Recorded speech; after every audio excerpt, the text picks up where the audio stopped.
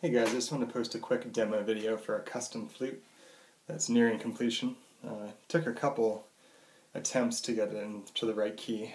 Bamboo is a bit frustrating to work with when you have a particular key in mind, especially when you can't really see the diameter of the inside.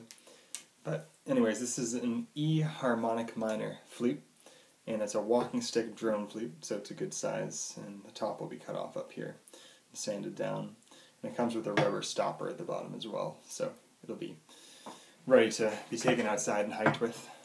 And this is what this one sounds like.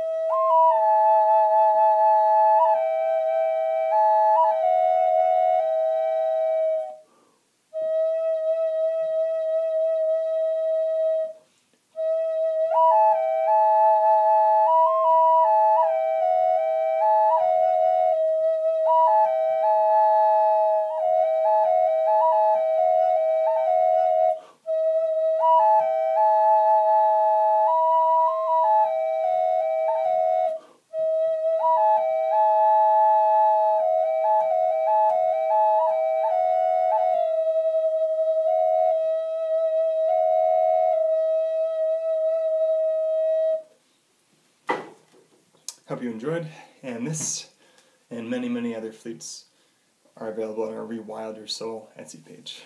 Have a good night.